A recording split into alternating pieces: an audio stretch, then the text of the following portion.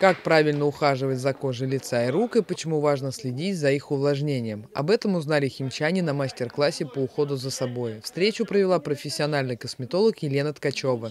Специалист поделилась простыми, но важными для здоровья секретами, как правильно увлажнять кожу в морозы, какой тоник и крем использовать, и как добиться необходимого кислотно-щелочного баланса в кожных покровах, чтобы иметь здоровый цвет лица.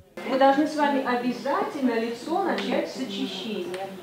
Очищение, опять же, у всех по-разному, да, у кого-то комбинированная кожа и жирная бывает, а кого-то сухая кожа и нормальная. Но вот уже у нас с вами вот такой возрастной период, когда кожа сухая.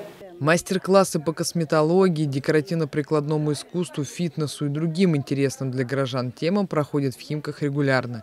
Посетить любой из них можете и вы. Подробная информация о дате и времени проведения есть на страницах газеты «Химкинские новости», в социальных сетях по хэштегу «Химки интересно жить» и на специальном сайте.